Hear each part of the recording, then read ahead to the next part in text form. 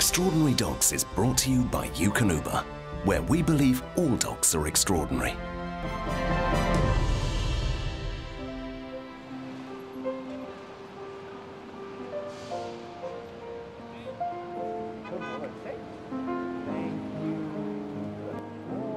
This is Blessing Ofor, blind since the age of five.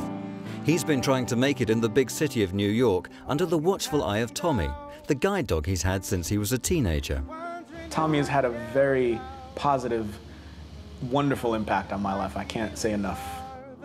The extraordinary instincts of Tommy have enabled Blessing to pursue his life dream of being a professional musician in one of the most crowded cities in the world. I moved to New York about six months ago. Before I moved to New York, I lived in Nashville, and Nashville is a wonderful town, but New York has more of the music business that I need. Go, certainly I would certainly cry. I miss you so. If you should leave, certainly I would certainly weep. I miss you so. Don't you know what you are to me?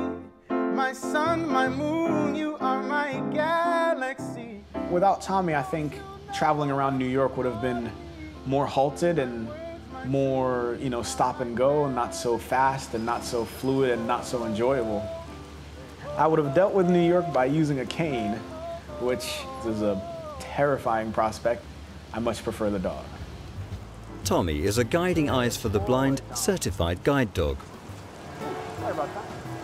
Tommy has made it really easy to uh, access the public transportation, subways and turnstiles and subway stations and getting on and off transportation, um, avoiding falling into you know, train tracks and all this kind of stuff. He's very useful in that regard. To help people like Blessing, a New York-based organization, Guiding Eyes for the Blind, provides superior guide dogs such as Tommy. Catherine Zubrisky has been working and training dogs here for the last 22 years. The majority of our dogs at Guiding Eyes will be Labrador Retrievers, and we find them that they're very adaptable to this type of work and actually the stress um, and the demands of guide work. In order to determine if a pup has the natural instinct to become a successful guide dog, Guiding Eyes for the Blind is one of the few schools in the world that evaluates the temperament of four-week-old puppies. And for now, it's all about play. Absolute genius. You gave up your toy for me. I love that.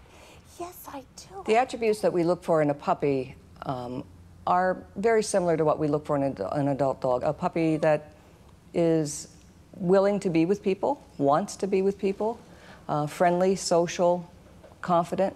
Oh, very nice staying with me. The movement didn't bother you? Each year, approximately half of the 500 puppies bred will become working guide dogs like Tommy.